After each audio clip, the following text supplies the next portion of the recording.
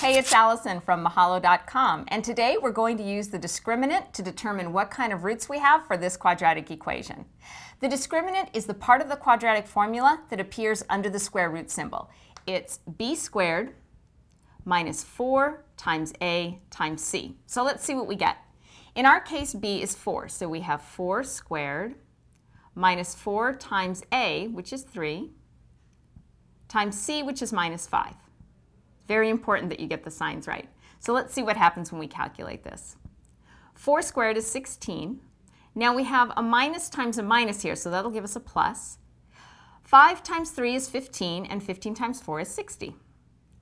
So 16 plus 60 is equal to 76. 76 is greater than 0, obviously. But what that tells us is that this quadratic equation has two distinct real roots. So when you plug these values into the quadratic formula, you'll end up with two different real numbers that will solve the equation.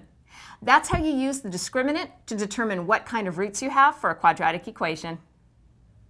Thanks for learning with me today. If you have any questions on this topic or anything having to do with math, please click on the links or send us a request to requests at mahalo.com. See you later.